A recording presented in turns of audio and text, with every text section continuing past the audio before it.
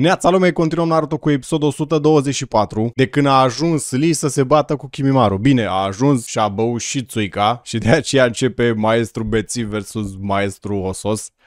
Sasuke încă alerga după Naruto. Hopa, invers. Naruto încă alerga după Sasuke. Ar fi, f- ar fi fost interesant la un moment dat să oprească Sasuke să ia la făcut pe el. Bă, Ia stai mă, ce mă tot alegi tu pe mine? Și ce dubios? De unde știe Sasuke unde stă Orochimaru? Că nu e ca și cum Sasuke a mai fost la Orochimaru înainte și acum știe unde se ducă. De unde știe, băi, a spus ciubărul? Naiba să lea. Înapoi la Rock Lee, care sare pe Kimimaro, îi face niște manevre, Kimimaro nu înțelegea ce fel de medicament și-a luat ăsta, să fi fost ceva ingredient special acolo care l-a făcut mai puternic. Bă, da, într-adevăr. Și Lee cade pe spate, rup de somn. Mă, ce e ăsta, mă? Doarme în mijlocul bătăliei. Nu vine să cred. Se duce Kimimaro lângă el și când să-i dea os, să ridică Rock Lee la el. Bam, bam, un combo perfect aici, dă cu el pe jos. Ha, fraiere, părea că dorm, dar nu dormeam. Și iară cade și adorme. Mă, ce e ăsta? Se duce Kimimaro, dar și Kimimaro pune botul la aceeași vrăjeală, adică serios. Numai ce a făcut asta mai înainte. Cum ajunge lângă el? Hop, se ridică, fraiere.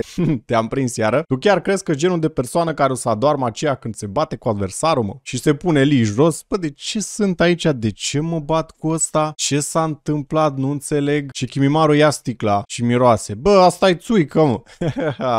asta e țuică, mă. ce cu ăsta, măi? Beat. Lasă că atunci o să-l omor și nici nu o să simtă durerea. Și Kamaru se tot chinuia cu Taiuia, îi pusese umbra aici până pe gât, dar degeaba. Că nu mergea, se gândea, bă, trebuie ceva strategie, dar n-am suficientă chakra. Kiba cu Akamaru mergea pe aici prin apă, până iese din apă, pentru că dacă stă cu rana asta în apă e mai mult rău decât bine. Rock Lee dormea cu Kimimaro pe el să-i dea os și când îi dă se ferește. Și fii atent, îi dă o dată, de două ori, de trei ori, de patru ori, de cinci ori, de șase ori, până îl prinde așa cu picioarele și se ridică la el. Și se mai bat aici cu Kimimaro gândindu-se, bă, de ce nu pot păli? Nu înțeleg, mă. Jap Toli îl pălește pe el. Gai încă vorbea cu Tsunade și spune că la restaurant când a băut Lee doar o gură, o gură atâta. De alcool a făcut dezastru, uite acum avem și poze cu ce s-a întâmplat. A fost nevoie de Neji și de Gai ca să-l rețină pe Lee, îți dai seama. Cum mă, nu puteai să-l ții singur? Bă, dacă ar fost să mă bat cu el și era adversarul meu, îți dai seama că îl băteam, dar fiind ucenicul meu n-am vrut să-l omor. și atunci a fost nevoie de Neji de Neji ca să-l calmăm. Dar gândește-te că asta a făcut numai dintr-o gură de alcool. Imaginează ce ar putea să facă dacă ar bea mai mult. Putere invincibilă, dar pe de altă parte numai ce a ieșit din spital. Nu cred că se află în condiția necesară să folosească această putere. Și acum Kimaro își dă seama că ăsta folosea pumnul bețivului. E prima oară când vede așa ceva și aleargă lin spre el, se împiedică și cade și după aia încep să se bată. Frumos, coregrafia aici mi-a bătut, această bătaie este frumoasă. Până se pune lin în mâini și începe să-i dea cu picioarele și șmecheră schemă. Începe Kimaro să-l atace super rapid, dar se ferește de toate atacurile. După aia mai dă o bucată. În altă parte zburau trei pe aici,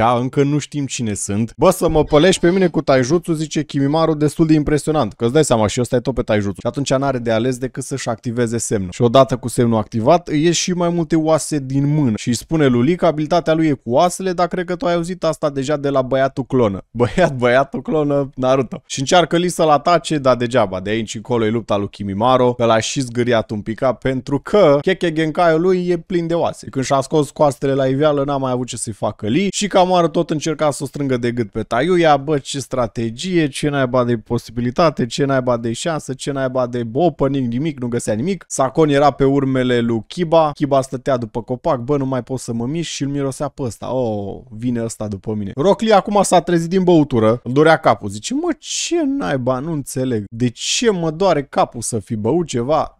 Da, fix asta s-a întâmplat. Bă, se pare că ți-ai trezit. Hai că-ți mai zic o dată ce am. Uite, ăsta e Keke Genkai-ul meu. Și fii atent ce face această abilitate. Controlează celulele osteoblastice și osteoclastice. Ah, sigur, da. Plus nivelul de calciu. De obicei ai 200 de oase în corp, dar el are mai multe, că face câte vrea el.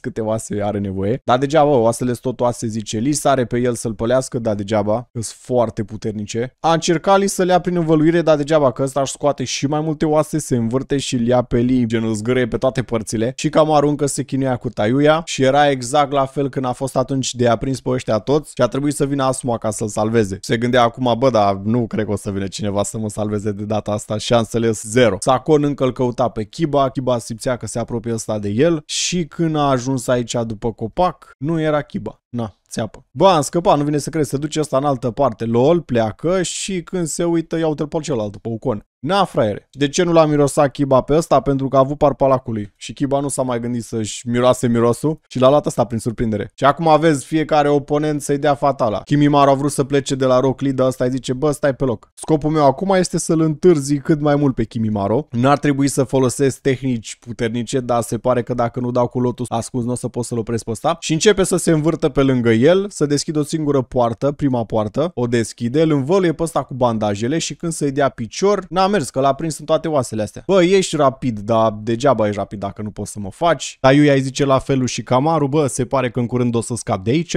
Ucon pregătit să-i dea fatală lui Kiba, știi, fiecare era să-și o ia aici și dintr-o dată peste Taiuia dă un jutsu de vânt. Ucon bagă kunaiul într-o păpușă, iar între Rockley și Kimimaru se bagă niște nisip. Deci, cine credeți că a venit aici? Satul nisipului, mă. Cei trei ninjalei care au fost adversarea cu ceva episoade în urmă. Ia uite numai. Bună ziua, plebs. Ce tare că la Shikamaru a venit fix nevastă sa să-l salveze. asta, asta nu doar că saluta cu toate femeile la rând în anime-ul ăsta, dar mai și venit una să-l salveze. Genial episod. În afară de Kiba, fiecare a fost salvat de adversarul lui de la examenele Chunin. Acum să vedem dacă poate să-l facă gara pe Kimimaru. Cine știe. Asta în episodul care vine. Sper că v-a plăcut acest episod. Până data viitoare să aveți o zi incredibil de bună. Dacă vreți să vedeți reacții la vreo 70 și ceva de anime-uri le găsiți pe Patreon, link în descriere. Iar ne de mâine cu un nou clip